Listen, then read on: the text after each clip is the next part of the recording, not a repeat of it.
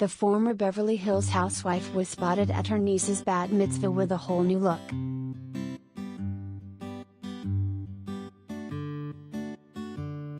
Is that really Kim Richards? Fans were left stunned on Monday, October 4th when a photo of the former Real Housewives of Beverly Hills star made the rounds on the internet. The pic, which was taken at Kim's niece Portia Umansky's bat mitzvah, left Bravo fiends wondering how the 57 year old appeared so much different from how she's looked in the past.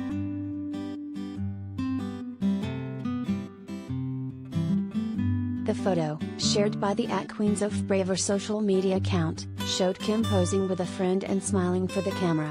The former reality star wore a green, belted ensemble and let her long, blonde hair drape over her shoulders. We would have loved to see a shot of Kim with her sister, Kyle Richards, whose daughter, Portia, was being celebrated, but the word is still out on where the two sisters currently stand.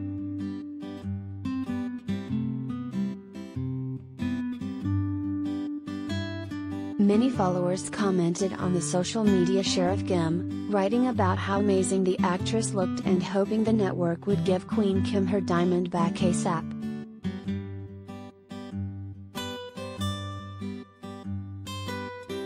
Holy SD. What has she had done? She looks at least 15 to 20 years younger, commented one user. Either she's had some amazing work done or that's a great filter. Wrote another. I'll have what she's having lol she looks great. A fan exclaimed, while others commented how they didn't recognize the former housewife.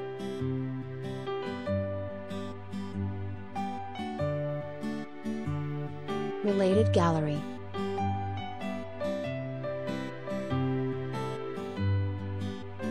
Real Housewives of Beverly Hills Season 10, Pics.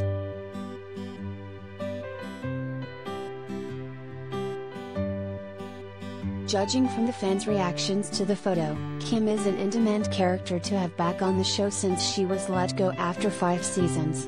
RHOBH fans know that the mother of four has had her personal struggles, but they've still continued to appreciate her guest appearances on the show since her departure.